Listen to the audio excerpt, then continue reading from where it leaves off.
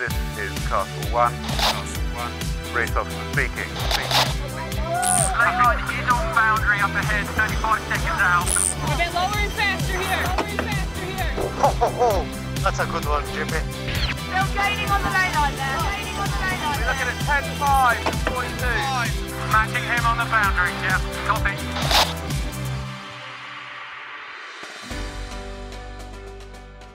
Welcome back, podcast listeners. As you'll have noticed, we've had a short break. We've been a little busy, but we're back for another two part podcast. This time, taking a look at what's just gone down in Barcelona. Just days after the 37th America's Cup was won, we sat down with four key team members from the opposing two teams to talk through that amazing summer of sailing in Barcelona. Before we get going, We've been in Barcelona working on the broadcast for America's Cup TV. More of that in a minute. But firstly, to everyone that came up and said hello out and about in the fan zone, even in the supermarket, a big thanks. It's great to meet fans of the podcast. And it turns out there were quite a few of you over in Barcelona this summer. Thanks too to everyone that's taking the time to head over to buymeacoffee.com forward slash sailing podcast. Supporting the podcast does make a big difference. If you enjoy listening to the ad free podcast and want to support, then it's all very simple. Buymeacoffee.com forward slash sailing podcast and leave us a message while you're at it. If you've recently taken the time, then many, many thanks. If you're listening to the podcast, it's highly likely you're a sailing fan. And if you're a sailing fan, then you may well currently be suffering from withdrawal symptoms. But it had to end at some stage. I am, of course, talking about the 37th America's Cup. I've lost count of the number of hours of broadcasting we put out over the last three months. But with the preliminary regatta, the Louis Vuitton Cup, the Women's and Youth Cups, and the Cup match itself, it's been a monumental summer of sailing, brought to you by a massively dedicated team. From the Cup Event Authority, the huge team of Cup volunteers, the media team, the AC teams themselves, and of course, the incredibly talented folk at America's Cup TV.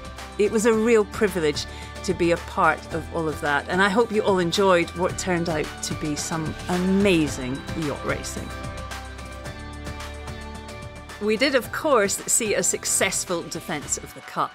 A massive congratulations to Emirates Team New Zealand. The first time in the modern era of the Cup, a team has won three times in succession. A huge achievement from Grant Dalton and his team. But there was plenty more to celebrate in Barcelona. The return of two time winners, Swiss team Alinghi Red Bull Racing, and of course, a huge asset to the Cup, the return of a French challenger in Stephan Kandler's Orient Express racing team. It was great to see them back too. The challenger of record making it through to the Cup match, only the third time that's happened. But for Sir Ben Ainslie's Ineos Britannia, they represented Great Britain in the Cup match for the first time in 60 years. A remarkable statistic, a big milestone for British sailing and for Ben and the team. And of course, the Youth America's Cup, a great success, undoubtedly a glimpse into the future there. And the first ever Women's America's Cup. A long time coming, but great to see the best sailors in the world out on the course fighting for the Puig Women's America's Cup trophy. I have to say, two of my favourite moments of this summer were watching Luna Rossa Prada Pirelli win, not just the youth, but also the Women's Cups. A massive testament to a great team. A team, as we all now know, that knows how to celebrate. Right, too much to say. Let's get on with it. This month, we talked to the challengers and the successful defender. In part two, we talked to Ineos Britannia's trimmer, data analyst, and all round sailing superstar, Bleddyn Mon, sailing in his third America's Cup, about the progression the team made all the way through to the Cup match. And we talked to one of New Zealand's most celebrated sailing stars, three times Cup winner, America's Cup super coach, Ray Davies. Kicking things off, though, in this edition, we talk to Emirates Team New Zealand's portside helm, sailing in his third Cup campaign, Nathan Outteridge. But we get things going with Ineos Britannia's portside helm, America's Cup rookie, Dylan Fletcher. I hope you enjoy the time I spent in Barcelona with the teams of AC37's America's Cup match.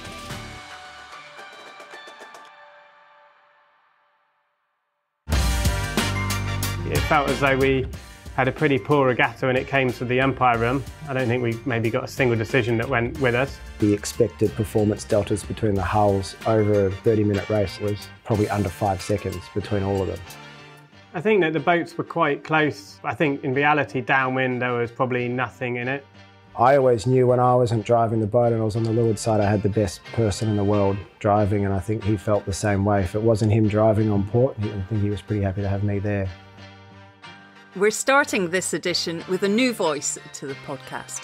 Olympic 49er gold medalist, America's Cup rookie, Great Britain's Dylan Fletcher.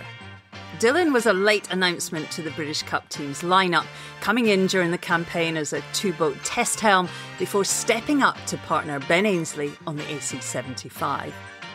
I talked to Dylan at the Ineos base just a couple of days after the end of racing. There's a few bumps and crashes as the pack up there got underway.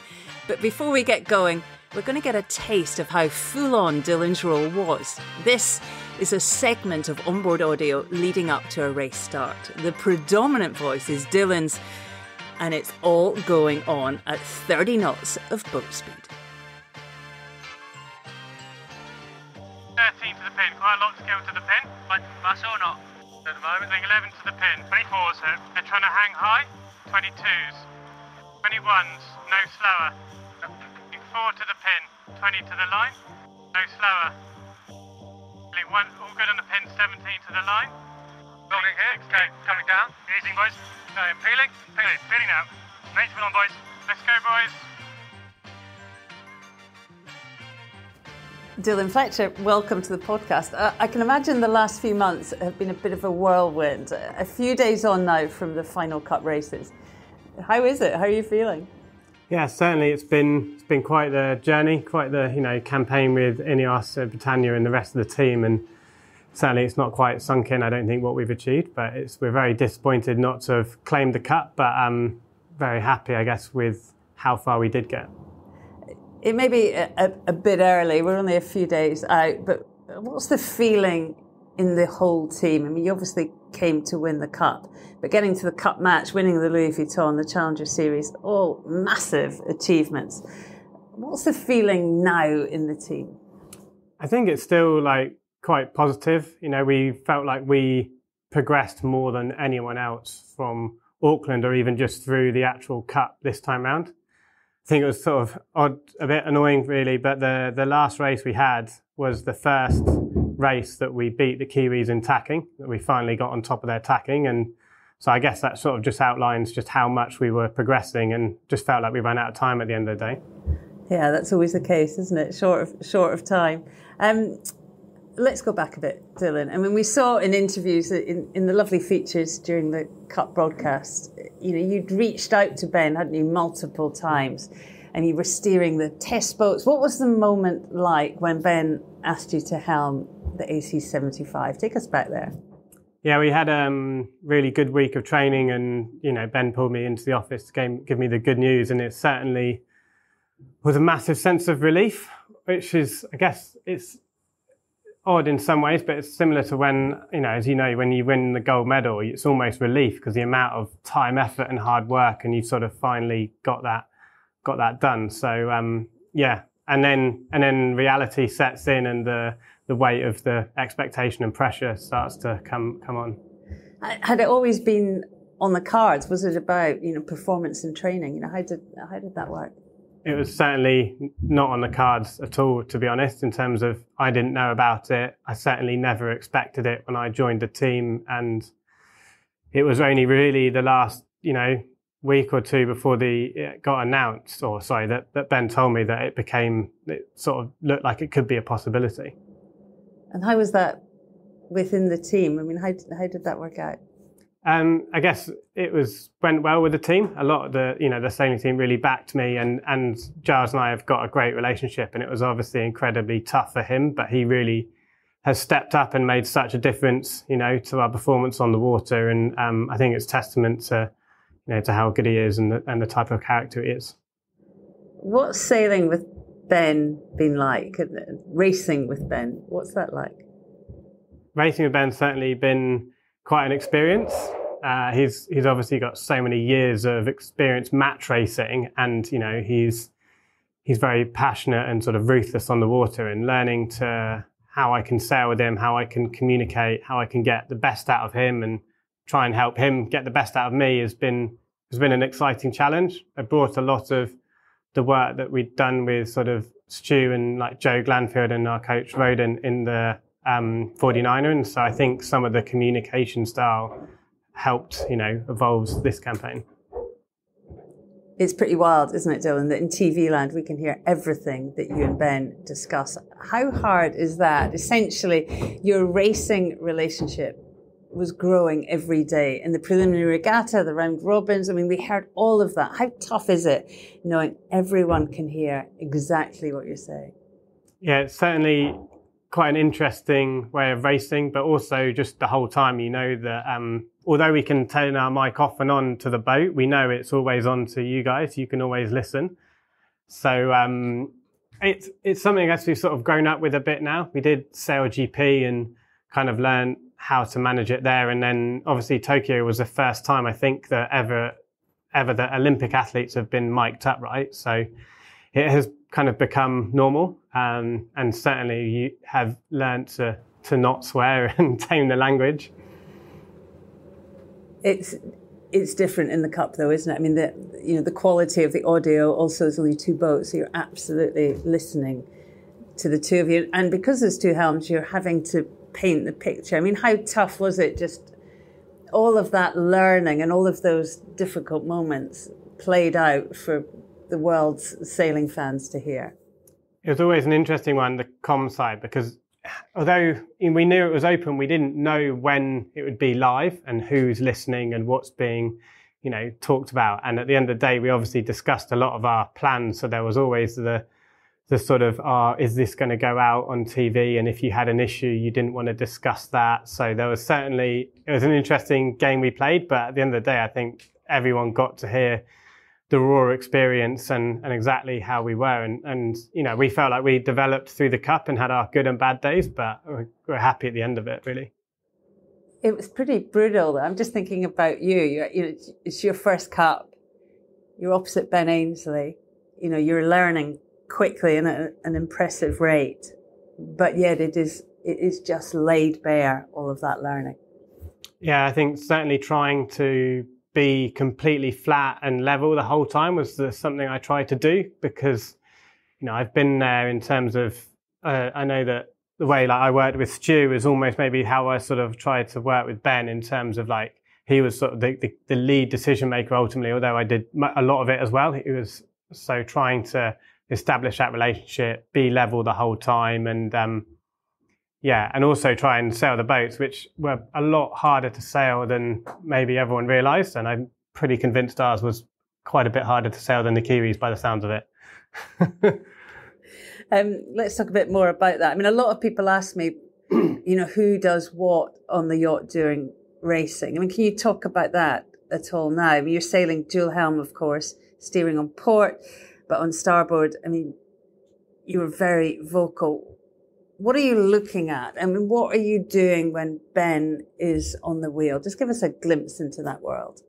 So we have the tactical app, which you have, you're allowed two on the yacht, and generally the helms would have them. So that sort of gives us laylines, how windy it is, the wind shifts. And so we would be trying to communicate ultimately the sort of the big picture strategist, I guess you would be when you're on that leeward side, and you kind of got then the other guy is kind of the tactician effectively. So uh, there was also some other things we were doing in the background. So just sort of normal normal sailing skills. I guess I don't want to go into too much detail because everyone's like got their own little playbook. But there was certainly we're sailing the boat when we're on the leeward side as well as also communicating. Uh, let's talk about the early racing. All the teams were finding their feet to some degree. I mean, if you had some technical issues in the preliminary regatta, your team lost to the Americans, the Italians, and to the Kiwis. I mean, what was what was the feeling here after that preliminary event? I guess after prelims, we were certainly kind of slightly disappointed, but also we we chose to maybe attack it differently to other teams. We very much chose it as a or picked it as a practice regatta, and we didn't show a bunch of our plays, which we ultimately probably held back a reasonable amount. And then you kind of saw, I guess, like probably the last race with the Kiwis was really when it you can see you get more and more of the plays come out. So trying to hold back plays, trying to hold back bits of equipment, um, and I think that's where it's always hard to see. And also just the progression of where we were sailing the boat. We, I think, compared to some of the teams, we were later to lock in some of our kit, so we were kind of on this steeper, steeper curve still at that point. You always knew there was more to come. Yeah, basically, yeah. And um, the Italians, Luna Rossa, Prada Pirelli, I mean, they looked good they, in that racing and they made it to the final. Did you think Luna Rossa looked like the most dangerous of all the challengers?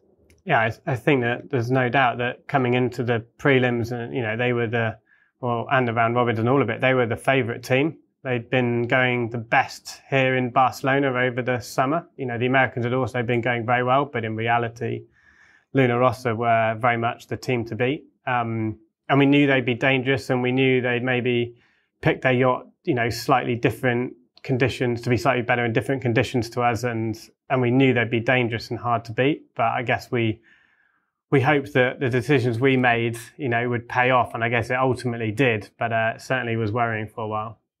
It's tough that I mean, you make your design decisions years out from you know being on the race course. It is it is tough, isn't it, that it's sort of etched in so early? Yeah, hundred percent. Like where you, what size area your foils are going to be, how many sails you're going to make, um, what the boat sort of is takeoff versus straight line performance, and all of this. There's so many sort of little bits we're trading between the whole time, and every team's doing that. So, you know, we expected one set of, or not one set, but a broad range of conditions in Barcelona, but you kind of pick the ones you think you're going to see most. Um, so it's always interesting to see of all the teams who where everyone picks that ultimately. Um, but I guess it, it paid off against the challenges, but maybe we didn't quite get it right against the Kiwis. But onto the round robins. I mean, the team then started winning races. Everyone talks about making improvements, don't they? The, you know, the big gains you know, every day. I mean, what were those? What was being improved on the yacht?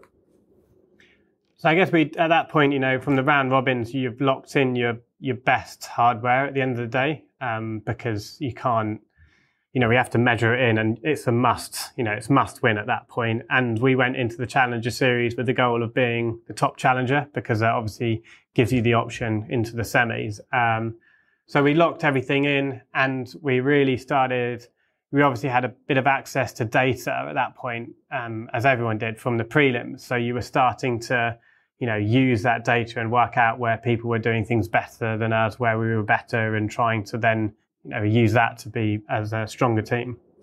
Uh, uh, how does that data work? I mean, you mean data on on your competitors? How does that work? So yeah, so we, I mean, um, everyone had access to it, but effectively you just get their, you know, their straight line boat speeds, and you know you can then have the course wind, uh, the true wind angle they sail. So effectively, you just really it's, it's only the basic data, basic GPS data, but um, and it's less than I think what they got last time round, but you still could see how how they would pick their turn rate in attack or how much they would press at the end of attack. Would they land thin? Would they land wide? You know, and all of those sorts of things. It seems a long time ago now. It was actually about six weeks ago, the final races of the round robins. Uh, and Ineos Britannia won three in a row to force a one off decider and won that against Luna Rossa. How did that feel winning the round robin? I mean, it, was a, felt like a massive achievement then.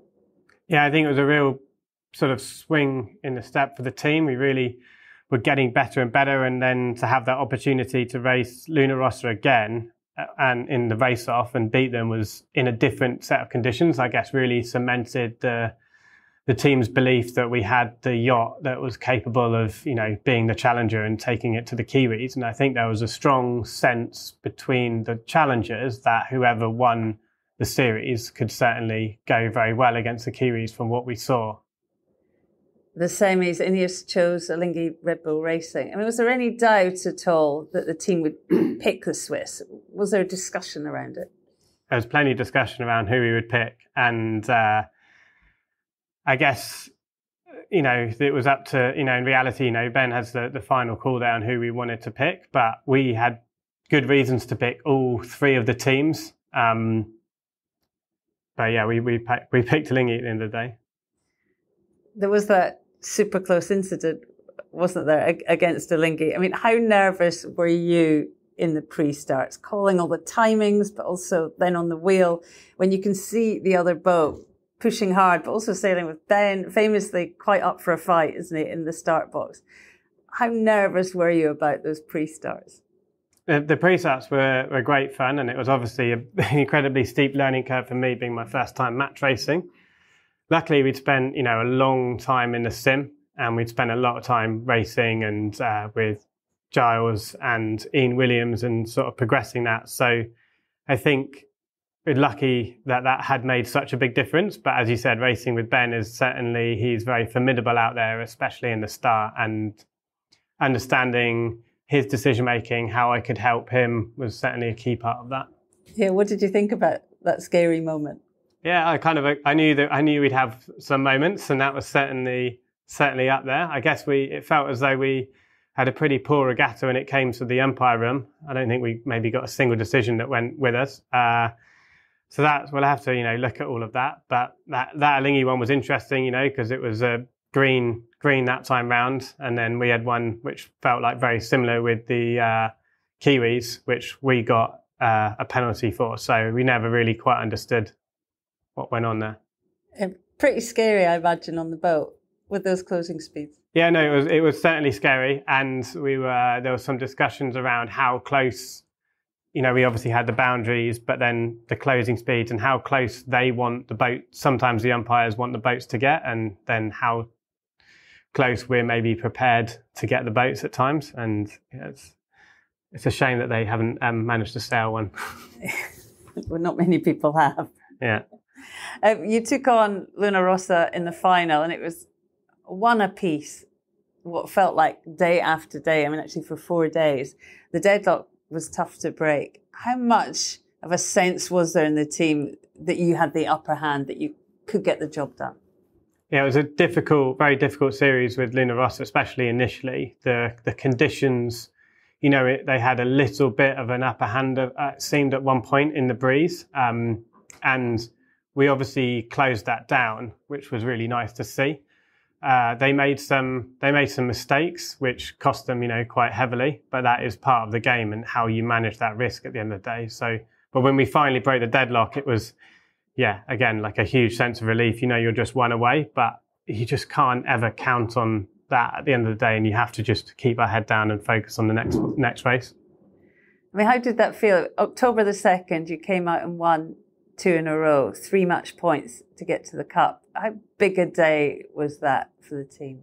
I think it was, yeah, probably the biggest day of the team, you know, in terms of, yeah, we went on to win, but that was when it finally, you know, you knew we had this, we definitely had this with each, within our grasp. And um, one of, I guess, a few moving days that we had. there was a day off, wasn't there? And then you were back at it. One more win, and you'd be in the cup match one of my favorite shots of that is Freddie Carr standing up, arms aloft, before the finish line. But we also hear you, you know, cup rookie, Dylan, like you just can't believe it. Come on, boys. Ineos Britannia rolls the waves to the Mediterranean with a 7-4 victory. They win the Louis Vuitton Cup and will meet Emirates Team New Zealand. Come on, boys. Yes, lads, we're going to the cup. Come on, boys. What was that moment like at that time, crossing the line? How special was it?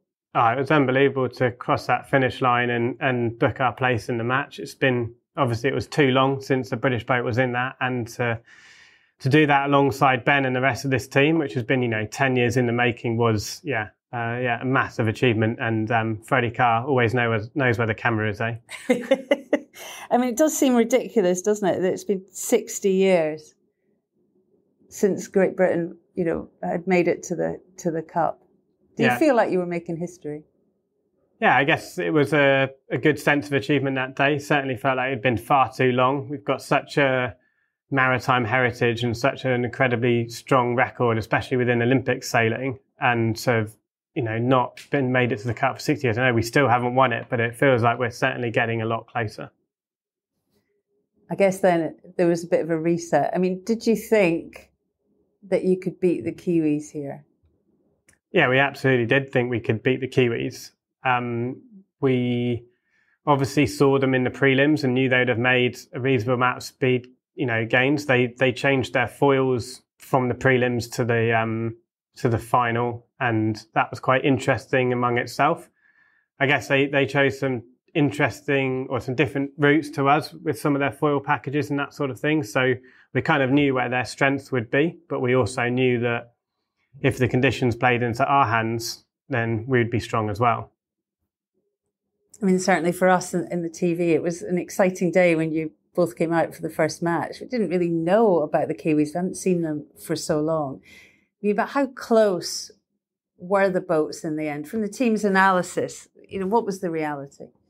I think that the boats were quite close in terms of, I think in reality, downwind, there was probably nothing in it. Uh, jibing, maybe we were a bit stronger at jibing generally. Um, they certainly had a bit of an upper hand on us when it came to tacking for a little while, and we worked really hard to to get on top of that. But interestingly, we were the best out of all the challengers at tacking. We were the best at jibing. Um, so and then I think maybe straight line performance that win, we, we maybe got level on them. But again, I think it was condition dependent. They obviously, that dry bulb of theirs, you know, the bit of lead that was quite high up, something that Prada had was strong, always going to be strong in flat water. Um, but we saw on the wavy day that we beat them twice. So I think that, you know, if we'd have seen more waves this cup, it could have been quite a different, quite a different outcome. What do you think gave them the edge? I guess the America's Cup is inherently stacked against the challengers, and um, the defender certainly was, you know, incredibly well funded. They they were they started from a much higher level than everyone else. If you look at last time round, um, and then they obviously wrote the rules. I know in association with us, but they certainly knew their loopholes. Um, and then lastly, although they didn't get that match race experience, they had the, the extra development time and we saw how much their yacht changed over the course from the prelims to the match. So certainly, you know, they, they found more speed whilst we were all locked in from an earlier date. Um, there was that one moment in the pre-start, wasn't there? You were on the port side, obviously. Uh, you must have seen the whites of their eyes on that Kiwi boat what were you thinking as the boats came so close to colliding? Yeah, the the the pre-start where we had the port starboard dial down with the with them was certainly spicy. Uh, it was, I guess, we were. It was pretty scary to be honest. Like we were doing, we were certainly swinging and doing everything we could as as hard as possible to keep clear. I was surprised that they chose to put the yachts in that much danger, given um, given the point of the regatta and all the risk and the fact that in reality at that point they kind of had, you know, they were going well and maybe thought they had a performance edge. So it was surprising that they chose to to cause the yachts to get that close. I mean, the the foils within a meter of each other. Um, so yeah, it was certainly surprising, and we were obviously suitably annoyed at the umpires for uh, for the decision going against us. I mean, that had the potential, didn't it? That that you know that move to be cup ending. Yeah, absolutely. Yeah, it certainly could have been if the foils had collided or something. It could have been damage to the yachts. Worse still, someone could have been injured. So um, yeah, it was loose. um, you also won races too. Uh, again, the pre-start Ben on comms, gas him, and you just said, "Yep." And five seconds later the Kiwis were off the foils. I mean, you won two races that day. How good was it knowing that they could be beaten? Yeah, it was a big day that ultimately when we, we finally got two race wins on the board. Um, it felt like it had been coming and, you know, we were beating them sort of in the pre-start. So we were, felt like they were lucky to get away with Um, some of them, certainly the the penalty. So it felt like a big day because at that point it was um, yeah, it was two race wins and they had four, but we were like it was one umpire decision away from being three three. So it was a big day for the team. Dylan Fletcher, America's Cup match winner, America's Cup helm. Sum it up. What's the last three months been like here in Barcelona?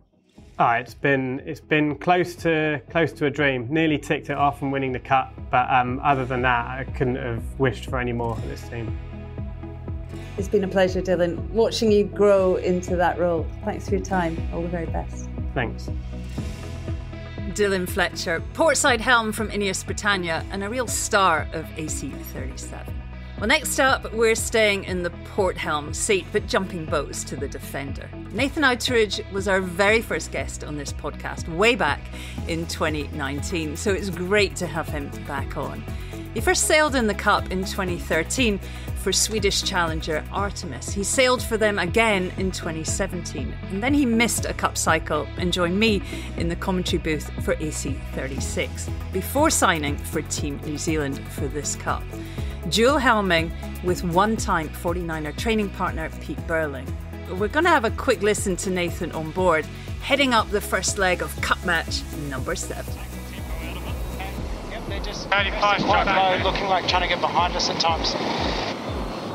It's VMG's here. We're right ah. bottom edge of puff. We're good. We'll hit if they come, okay? Understood, Pete. We're doing really well. Really well here, okay? That we'll be hitting them. it's more just Happy, inside of us. happy fast to VMG build. It's going to be soft at the top there. You have a real good look at it, mate. Yep.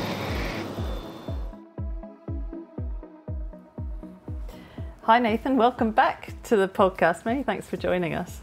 Ah, thank you. It's been a, a long time, but it's good to be back and to have a yarn. It has been a while. It, it's also been a couple of days now since you lifted that mighty trophy. I mean, things have settled down a little. You know, how's the team feeling? What's the vibe after the win?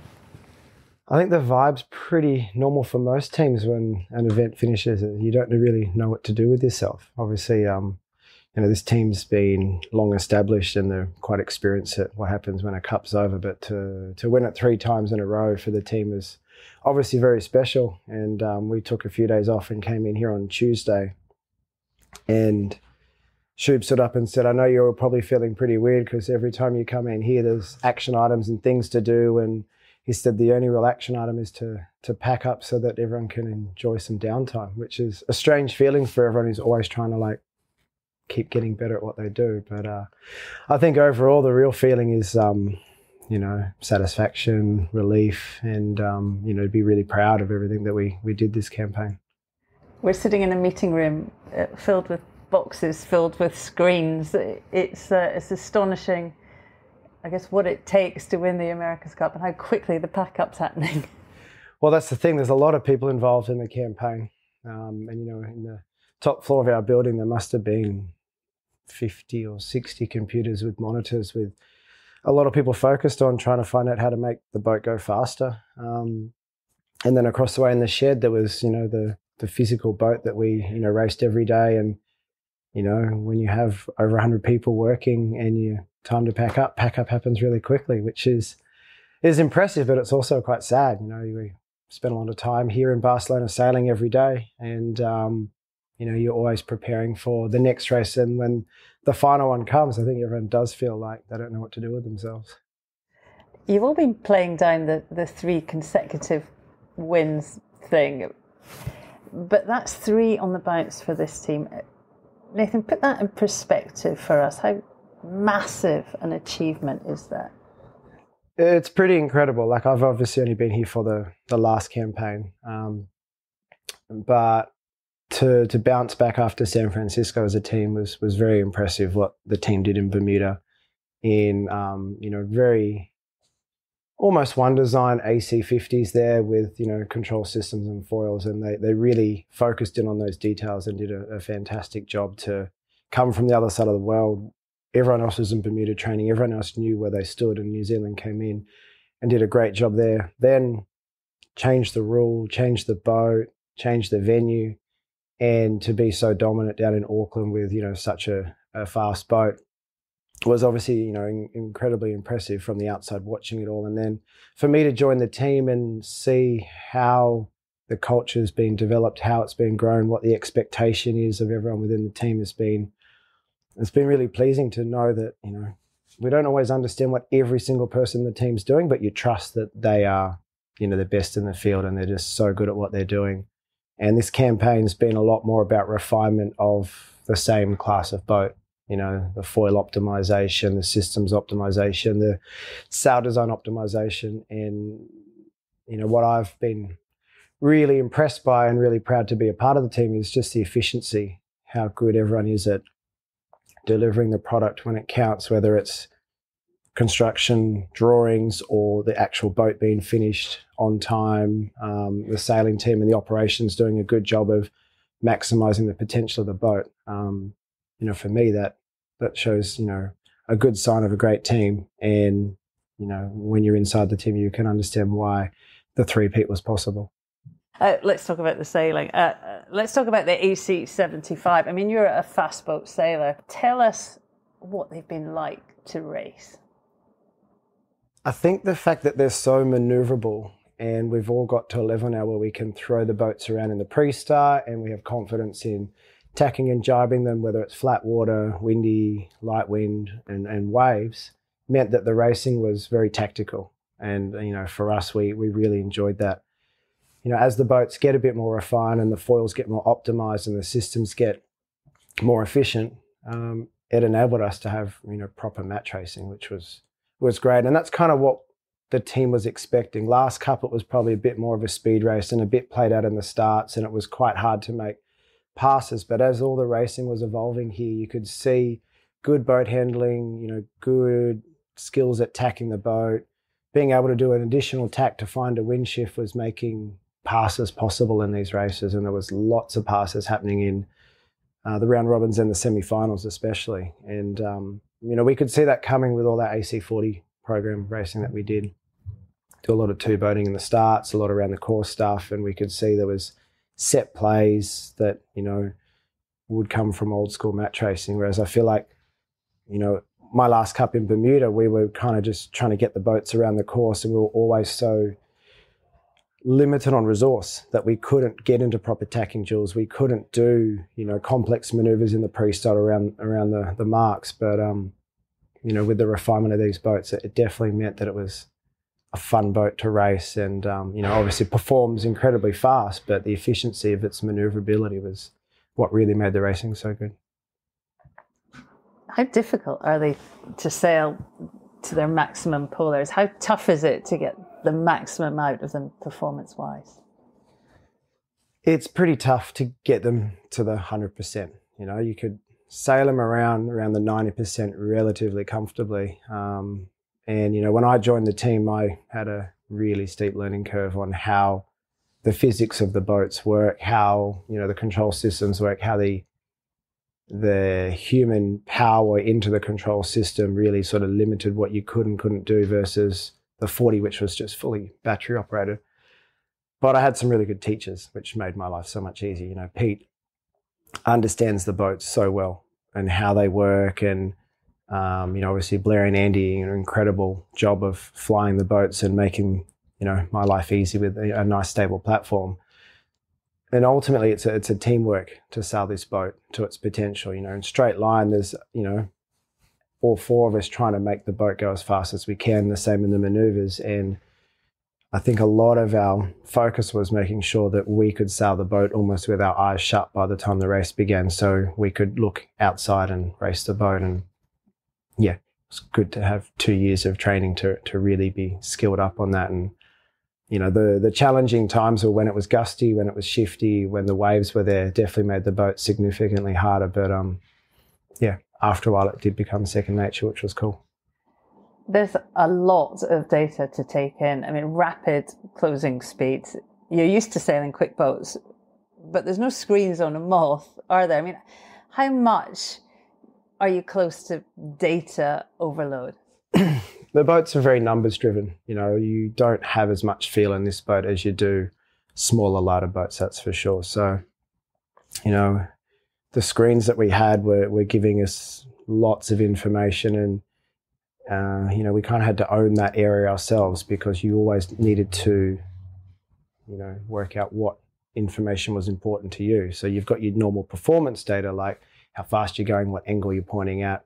Uh, you got your race software kind of stuff, but then you have how the entire system of the boat's working, how you're trimming the sails, how you're flying the boat, how the thing's flying in the air. So, you know, we would have had well over, you know, 60 different numericals on our screens while we're racing, and you just knew where the important information is at the right time. And uh, yeah, gone are the days where you sail a 49er and you just have a compass that tells you you're heading, and you just got to remember what your heading is on port and starboard to work out the shifts. There's there's so many numbers these days, and we have you know so many sensors on the boat.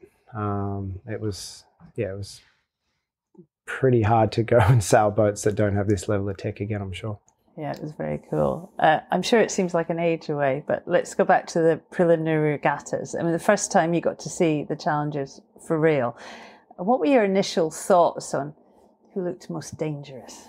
It was interesting. I think everyone did a, a great job, you know, with their hull design. And, you know, we would all obviously look at all the hulls and ask our hull designers, you know, like, what do you think? What's the difference in it? And I remember receiving a an update from one of our hull designers who said, you know, this would be the expected performance deltas between the hulls over a 30 minute race. And it was probably under five seconds between all of them. You know, you just like from an aerodynamic point of view, yet they all look so different. Um, and really, the whole business end of, of these boats was what was under the water, how much drag you got, how much lift you got, how um, you could actually control the boats while flying, and obviously the sails and how the thrust came about. So, you know, ultimately we thought all the all the boats had their strengths and weaknesses, and we we kind of spotted early on Ineos were probably more in our camp than the other teams in terms of their foils. You know, they had quite small foils, which we thought um, would be overall the fastest around the course.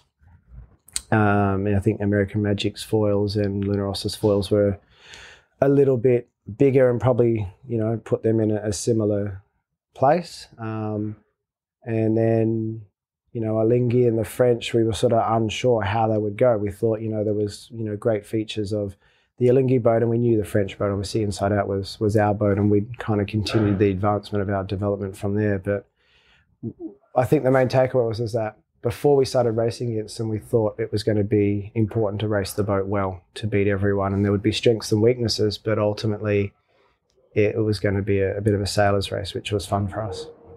Let's talk about the comms on board. I mean, you were without doubt probably the quietest of all the boats. How did you feel about the fact that we could all hear your chat on board? It was great for the viewer, obviously, but how was it for the team?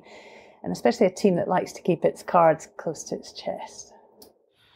It's always an interesting one, the onboard comms you know, we all know that good comms on the boat mean good decisions. And so, you know, we spend a lot of time working on our comms to be short, direct, and always as calm as possible. Uh, and I think it's been fantastic for everyone watching the broadcast to be able to hear all of that, um, you know, in the live broadcast. But then they started putting all the stern cams up as well, and you could just listen to the entire race of each boat. I remember that from uh, Auckland, sitting with you doing the commentary just the whole time saying, let's just listen because that's where the real story is. And every night I'd go home there and listen to the onboards of both boats just to understand where everyone was at and, you know, where the stressful moments are around the course to try and ultimately try and work out when not to speak and, and let them tell the story. But as a, a competitor, it's um, tough giving away that IP.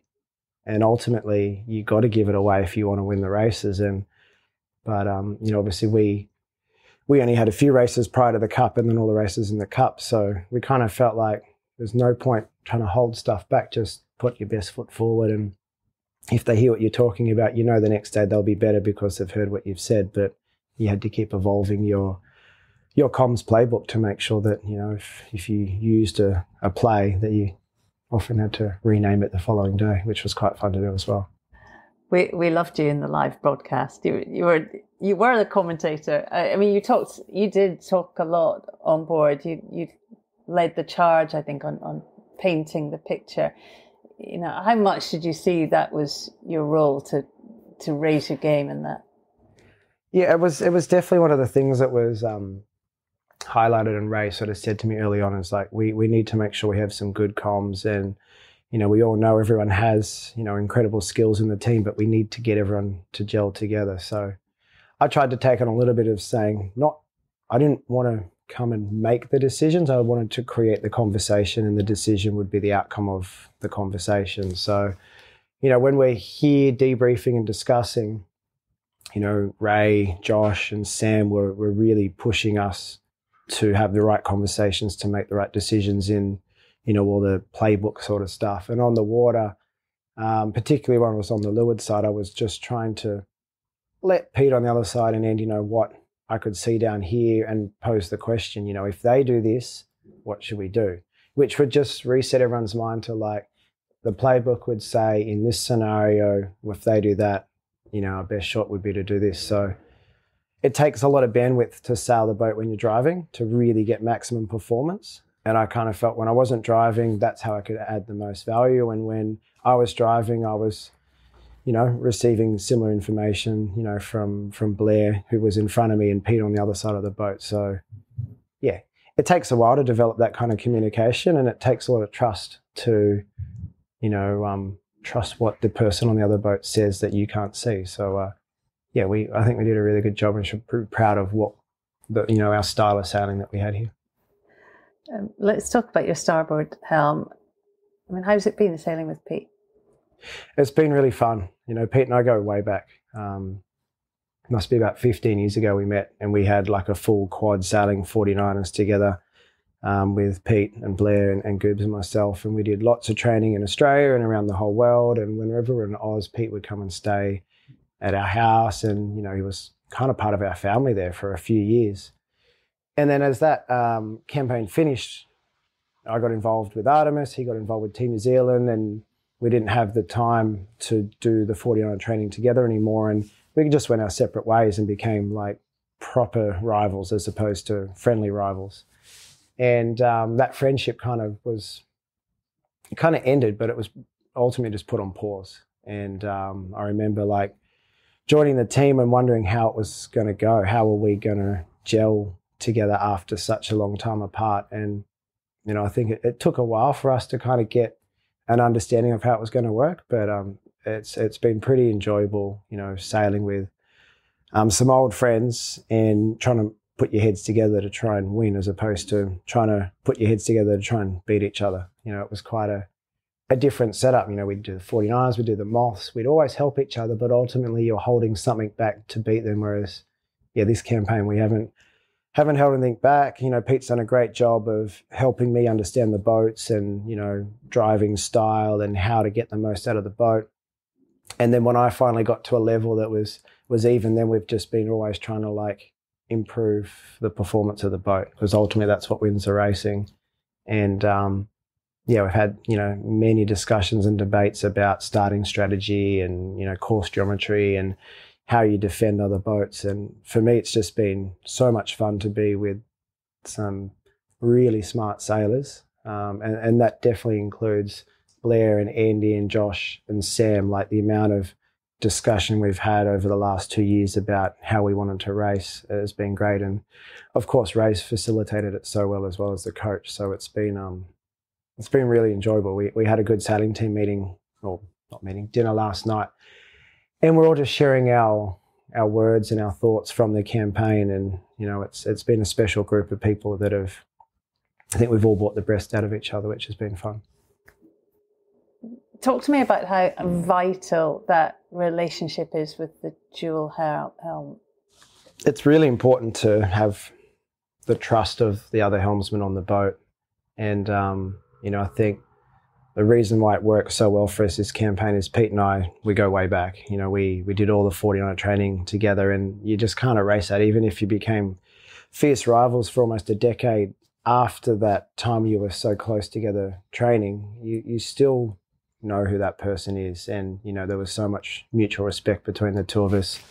You know, we've competed for gold medals against each other at two Olympics. Um, you know, we got one gold, they got one gold, and you know, got the silver each time. So I always knew when I wasn't driving the boat and I was on the leeward side, I had the best person in the world driving, and I think he felt the same way. If it wasn't him driving on port, he, I think he was pretty happy to have me there. And the more time we spent together, the the stronger that got. Um, so, you know, you can see other other teams there was potentially rivalry fighting for the starboard seat. There was no arguments in our team about that. You know, I knew that Pete's the skipper of the program. You know, he's won two America's Cups with the team. He was always going to be driving on that side, and my job was to assist as best I could on that. And ultimately, once the start gun goes, you still do 50% of the race each.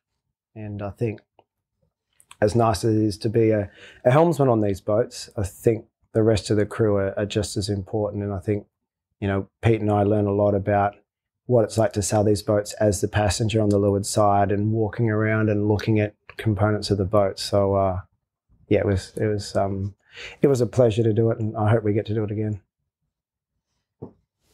What are you doing on the yacht? I mean, steering, obviously, but then when Pete's on the wheel, give us all some insight about your role. Then, what are you up to? Well, as I said, we've got lots of data to look at on our screen. So, on like training days, you're analyzing the data live while you're going and looking at the performance of the boat, the sail setup. You're looking over the side at how the foil's behaving in the water, and you're talking and giving feedback about what you can see. Uh, ultimately, there's really only four of us on these boats that are like looking around and feeling how the boat works in terms of the flight and the trim and the stability, and you've got a huge team in chase boats and ashore listening to every word that you say and looking at video feeds. So it's the best time when you're not driving the boat to try and give feedback and to talk and to think about what's happening. And I remember like doing the Bermuda campaign on the AC50 and you're switched on the entire time. You are driving and then you are running and then you are driving and your heart rate's elevated and you're constantly in this one position of driving and thinking about the racing and the performance. But when you hand the wheel over and you tack and you're on the leeward side, you're like, okay, all right. I wonder how I could have done that segment better. I wonder how I could have done that tack entry better. And then you sit and you watch the other guy and you look at all of his numbers and you're like, oh, okay, I see he's doing that with the sail trim and I see he's moving the traveler. And you're like, oh, I think maybe we need a little bit less twist than we've got. And you give that feedback from on the boat. And on days where it's not super rough, you get out of your cockpit and you walk around and you pull the leech line on a little bit on the jib and you like take some photos up the sail and you look at some of the fairings and take photos and send them to the designers while you're sailing so that they can see what you can see. So often the, the driver gets the boring job. The driver is just locked in. It's when you're not sailing the boat, you actually really give some good feedback, which is was a lot of fun. During the Louis Vuitton Cup, there's a big period, isn't there, when you're not racing? What did you do? I mean, while the challengers go through the semi-finals and then the final, give us a glimpse into that world. Well, we obviously watched the racing really closely. we were very interested to see how the racing styles were going to develop between all the teams and trying to work out what the strengths and weaknesses were of all four boats initially. And then as two got eliminated, we you know shuffled our focus onto just two. Um, so we were always doing that kind of analysis, and then internally we were basically just making our boat go faster. You know, we we learned a lot about racing against the other boats and changed a lot of things on our boat to make it go faster, to have it a little bit better across a wider wind range. You know, we had new sails coming in that you know hadn't even been built when we were racing up here to start with, Then we had you know optimization happening on our foils on our rudders. We were developing our you know power system the flight control system like everything was basically getting developed flat out during the period while they're racing. And we're obviously on the water sailing as well and we were using the race course to get out there and sail in same conditions and try and get a feel for how our performance was going trying to understand the weather conditions. So when you watch the racing you hopefully can learn more about your competition as well so I think a lot of people thought, oh, five or six weeks, they're going to be a bit rusty. They're going to be, you know, not as sharp as they were. And it was our mission to be sharper. And I think we, we had a much faster boat, which made our life a bit easier. Um, but we also were pretty pretty switched on to how we wanted to race. And I think we, we put our best foot forward on that first day, which was really pleasing. So you're you're allowed on the racetrack before that period before racing. Um, but we, who are you racing? How does you know how does that work when you say you're trying to, you know, trying to be sharp? How do you manufacture that? Well, we the protocol allowed us to use the course equal amount of time during that whole period, but obviously we couldn't use it at the times we wanted to because you know it was reserved for racing. So we got a chance to use it in the hour and a half before, and we'd try to jump on in between the two races, and then we'd normally leave. It was quite hard because there's so many spectators here watching the racing, which is amazing, but unless you're in the protected area of the race course, it was quite dangerous sailing out there, and you ended up having to sail so far away that you weren't learning the venue. And we've been here, you know, all all summer and all last summer trying to learn the venue, but there'd be someone out on a wing, you know, in the middle of the course, and someone would fall off a windsurfer, and then there's a paddleboard, and we're like, it's just dangerous being so close to the beach. So a lot of our training ended up being so far away. So we were trying to use the time we had on the course to just get a feel for the wind patterns. You know, how fast is this wind shifting today? Is it, you know, two minute oscillations and that'll get you boundary to boundary, or is it like a slow, persistent shift that you have to keep stepping back up to the right to protect that? And by being on that race course, we learnt that kind of stuff. And then when we watched the racing that happened, you know, 20 minutes later, we kind of got a feel for how they were playing the tactics as well. Whereas if we had been, you know, up the coast somewhere, we just wouldn't have got that information. and then how do we like race ourselves? Well, we, we still had the same race software information. So we do a lot of practice starts on our own, trying to do the set plays on our own, trying to like, you know, practice, you know, doing maneuvers up a boundary. We were literally just getting really creative with um, racing on our own, which is quite hard. Um, and we often get calls from the chase boat saying, you know, you got a penalty now, like you need to clear it, or you know, you've been tacked on, like you need to double tack back to the boundary. Just trying to make a life hard, and uh, yeah, it doesn't. There's no substitute for racing another real boat that you can see with your eyes, but uh, it was quite cool to just get creative during that period. Um, it was Ineos Britannia in the final. What did you think about the British team? Well, I think they did an incredible job. Um, not not just this campaign, obviously this campaign, but just since Ben put together the the British team, you know, in Bermuda and Auckland and here, everything's been a progression.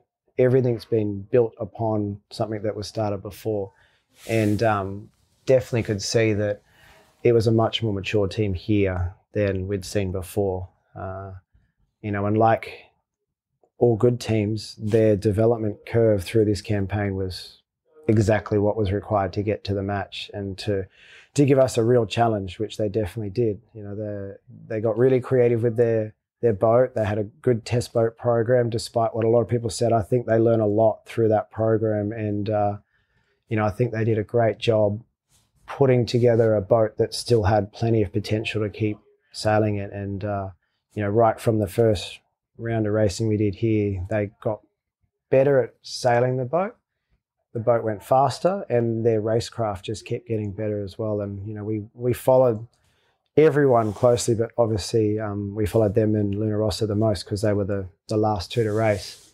It's an exciting day, isn't it? Race one, you get to see the two yachts for the first time and your first America's Cup match, Nathan. How big a sense of occasion did you feel? How, how nervous were you?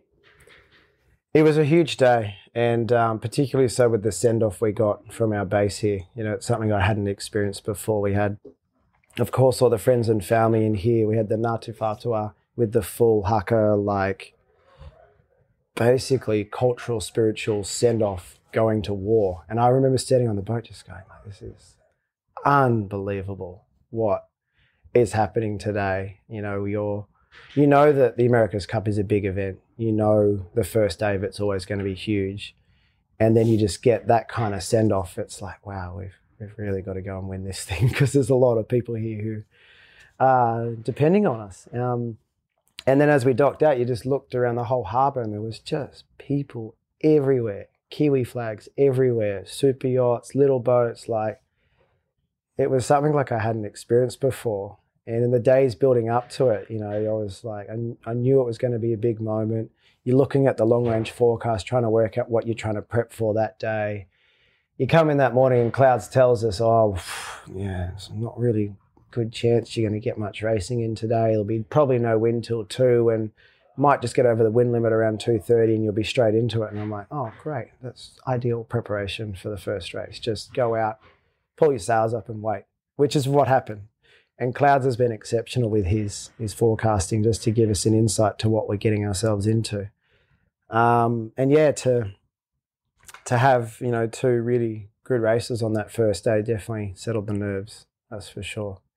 Um, yeah, I wouldn't be lying saying that you know if we if we hadn't have defended the cup, um, I would have felt slightly responsible having been the, the, new one into the team, having seen them do so well previously. So that first day was pretty settling for me. Um, and, and the, and the thing that probably helped me the most was you look around and no one looked stressed in our program. Everyone knew we were ready, and uh, that's just how you want to feel. You want to feel like you're ready to go. And we went and executed two really nice races that day and came in and everyone, you know, was relaxed and chilled. And so that's how it should be. And, and then we marched on.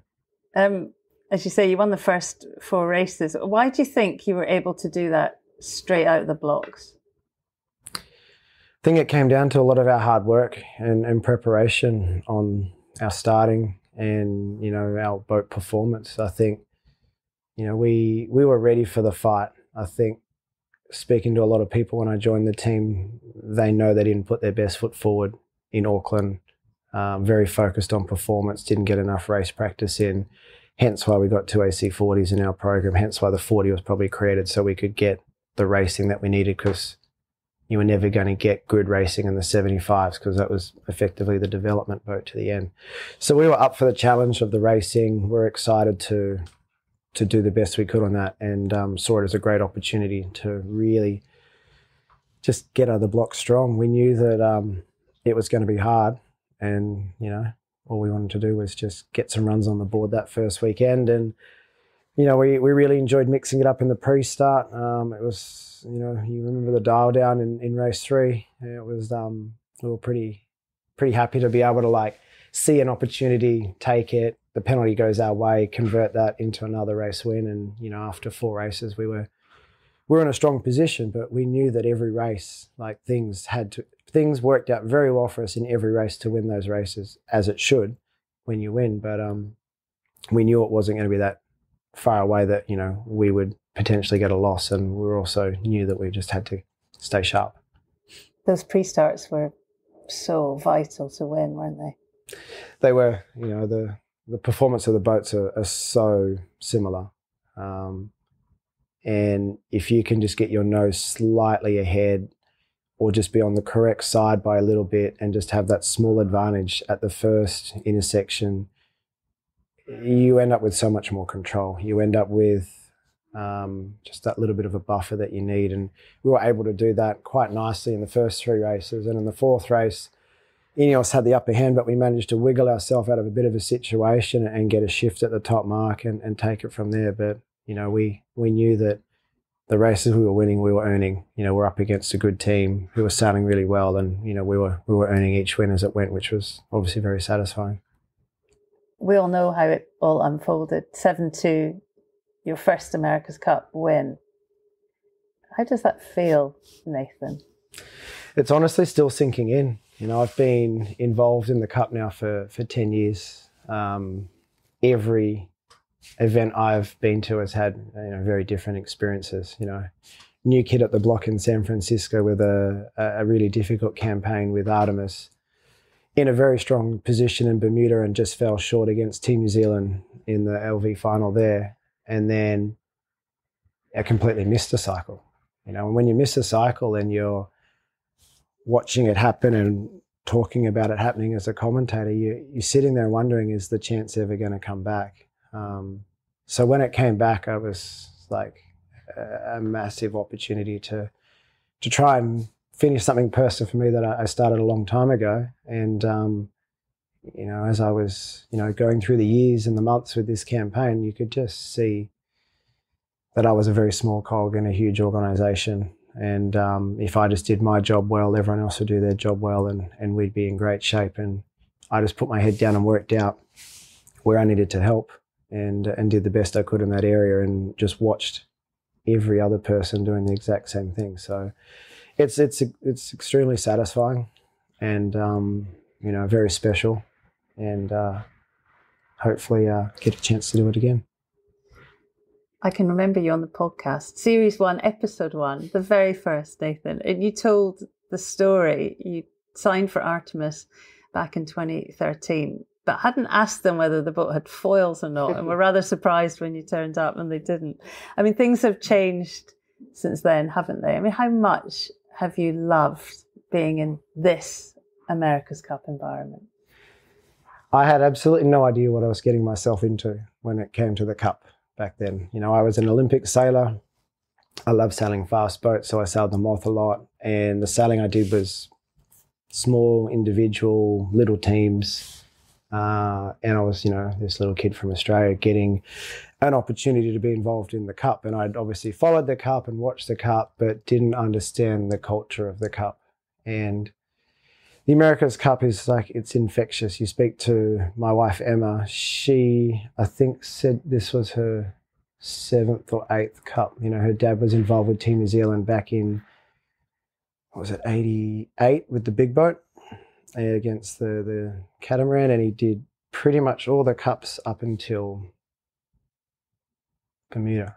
He was he's been at all of them, and and Emma's been there as a kid and then she's been there also um, working, you know, for Louis Vuitton and working in the media center. And you know, we met in San Francisco. So for me now, the America's Cup is like family. You know, it's whether it's this team or whether it was my Artemis team, which I still feel like it was a family then, or it's just the entire event, the teams, the people who come and do the broadcast, the people who come and put the racing on we're just one traveling circus that goes from one city to the next. And it's not like we're here in a flash and we're gone. We are, you know, here for years and then we have no idea where we'll go next. But I'm sure that, you know, in three or four years' time, we will see the same people, see the same faces, and everyone will be here putting their heart and soul into to this event, which is very special. It's it's far more than a sailing competition. And uh, you know, you go back a decade ago, I had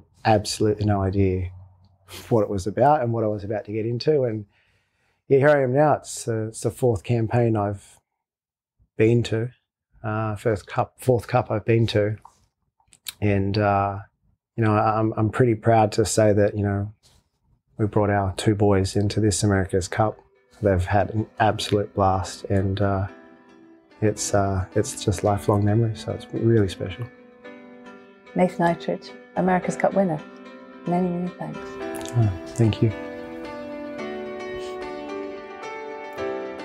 Nathan Outteridge ending our Port Helm edition of the AC37 podcast. A great insight from two previous 49er Olympic gold medalists, both sailing in their first America's Cup matches, and two sailors very much at the top of their game. To Nathan and to Dylan, a very big thank you. You heard some extracts from the ACTV broadcast throughout this pod, so a big thanks to the team for all the hard work. And because this is a podcast, I have to say a big thank you from me to the ACTV sound department. The audio we get off the boats during racing really is fantastic. The team do an amazing job. It's so insightful. So, a big thanks on behalf of all our listeners to Team Sound. If you've enjoyed the podcast and you'd like to support the pod, please do head over to buymeacoffee.com forward slash sailing podcast. We work hard to bring you this ad free listen. It takes a lot of time, so it's lovely to have your support. Many, many thanks for that. And of course, another massive thanks to, to the ever talented Tim at Vertigo Films. Tim's editing America's Cup interviews in his sleep these days. He's been immersed in the Cup for months and months. So I was, of course, delighted to put together another final podcast. Tim, on behalf of all our listeners, a massive thank you. Until next time, thank you so much for listening. Have fun on the water and sail safe, everyone.